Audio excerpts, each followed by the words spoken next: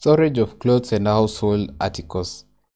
And so under this topic you the learner should be able to store clothes and articles and also there have the second that is the second objective is to improvise storage facilities for clothes and household articles.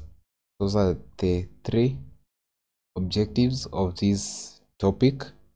And so if you are looking at this at the first for the first time that's what you expect to learn. Uh, that's the expectation of the examiners of you from this topic. And if you're looking at this topic uh, for revision purposes then this is what you must have known. You can also check out the topical questions from your home science application. If you don't have it check the description of this video to gauge whether you've understood this topic. See you in our next class